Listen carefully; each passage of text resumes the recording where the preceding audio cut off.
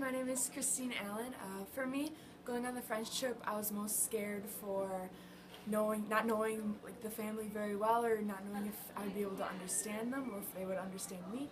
But after we went on the trip, as soon as we got there, they were really nice and understanding, and they kind of helped me with my French, helped learn new words, and they talked slow enough so I could understand, which is really nice, and I really enjoyed spending time with them.